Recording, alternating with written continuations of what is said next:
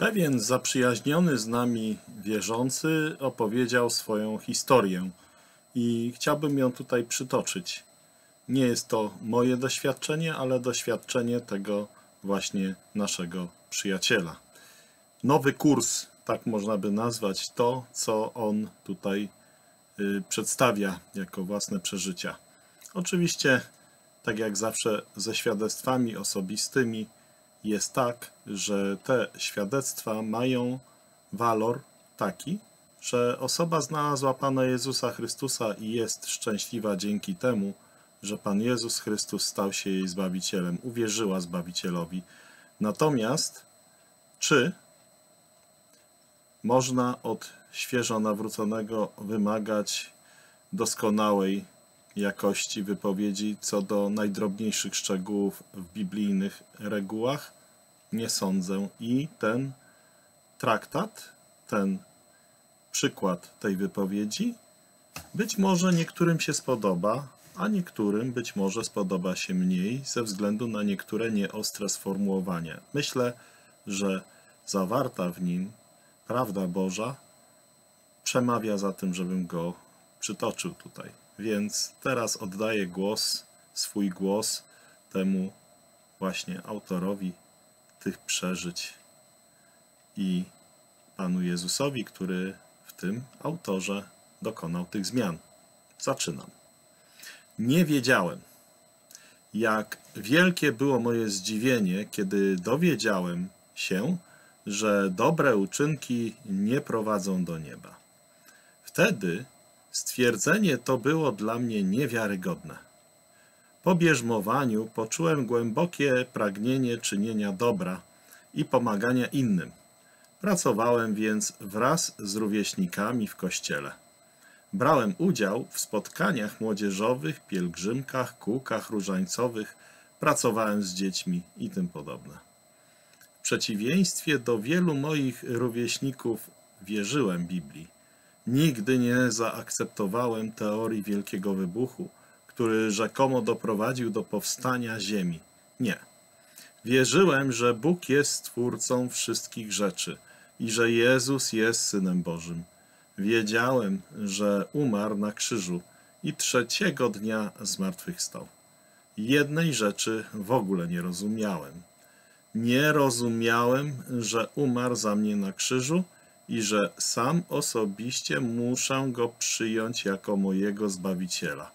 Nigdy nie uczono mnie tego na lekcjach religii. Byłem przekonany, że istnieje niebo i piekło. Wierzyłem, że jeśli będę się źle zachowywał, będę kradł, przeklinał i popełniał inne grzechy, trafię do piekła. Więc moim celem było czynienie dobra. W kółko, każdego dnia, ale nie miałem siły. Byłem z tego powodu nie tylko smutny, ale wręcz zły na siebie. Sięgnąłem więc do Biblii, aby tam znaleźć odpowiedź. Wtedy myślałem, że Biblia po prostu jest zwykłym podręcznikiem, że Biblia to po prostu zwykły podręcznik, który można przeczytać ze dwa razy i po przeczytaniu odłożyć. Dziś patrzę na to inaczej. Biblia to coś więcej niż książka z dobrymi radami. To Boży plan działań dla naszego życia, który wskazuje nam właściwą drogę i jest wypełniony drogocennymi skarbami na każdy dzień. Kiedy miałem 20 lat, ktoś z wielkim przekonaniem opowiedział mi o tym, co Pan Jezus Chrystus zmienił w jego życiu. Byłem tak zainteresowany i pochłonięty, że naprawdę chciałem dowiedzieć się więcej o Jezusie.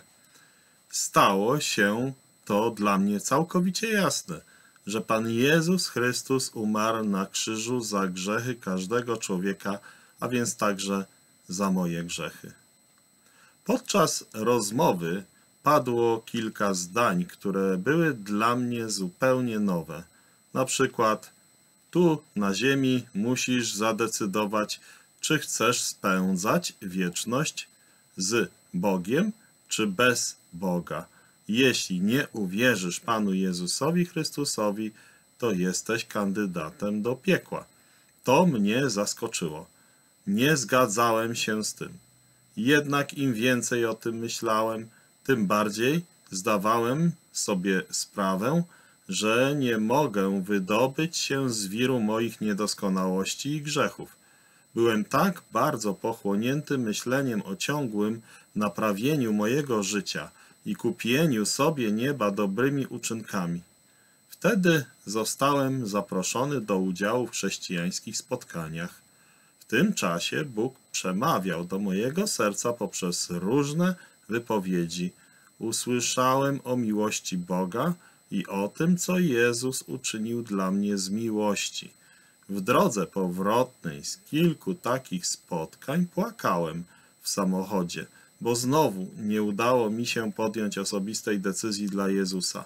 Łzy spływały mi po policzkach tak bardzo, że ledwo widziałem drogę. W nocy nie mogłem już normalnie spać. Dręczyła mnie myśl, jesteś kandydatem do piekła. Obudziłem się w niedzielny poranek i poczułem chęć ponownego pójścia na spotkanie chrześcijan, chociaż nie miałem wcześniej takiego zamiaru. Usłyszałem tam słowa Jezusa z Ewangelii 8:46. Jeśli mówię prawdę, dlaczego nie wierzycie mi? Ile razy już słyszałem tę prawdę? Czytałem swoją Biblię, a jednak nie przyjąłem jeszcze Bożej oferty pojednania. W czasie tego zgromadzenia uświadomiłem sobie, że powinienem się nawrócić. Wstałem i wzywałem Jezusa w modlitwie. Prosiłem Go, aby przebaczył mi moje grzechy i przyjął mnie jako swoje dziecko. Osądziłem całe swoje dawne życie i oddałem je Jezusowi.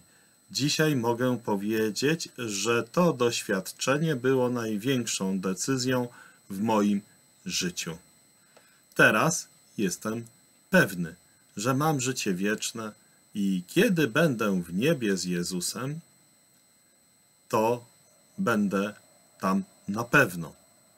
I teraz jestem pewny, że mam życie wieczne i kiedyś będę w niebie z Jezusem.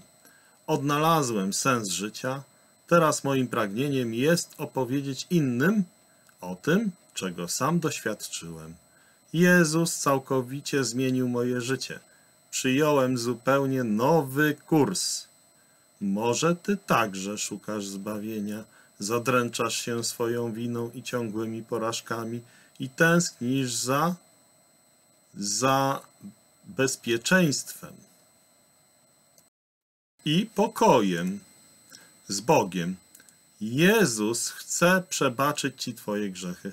On zna całe Twoje życie, Twoje myśli, wszystkie Twoje zmartwienia i potrzeby. Jezus pragnie całkowicie zmienić Twoje życie i żyć razem z Tobą. Łaskawie wyciąga do Ciebie rękę. Chwyć się Jego ręki.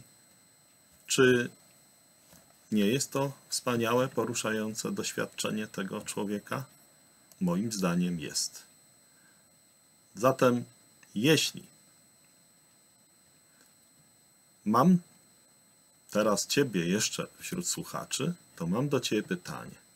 Czy gdybyś dzisiaj umarł, to pójdziesz do nieba, na które nie zasłużyłeś, czy do piekła, na które zasłużyłeś? Jeśli nie masz stuprocentowej pewności tego, że jesteś zbawiony, to uwierz w Pana Jezusa Chrystusa, a będziesz zbawiony. Uwierz Panu Jezusowi Chrystusowi, a będziesz zbawiony. To wystarczy. Uwierz Jezusowi.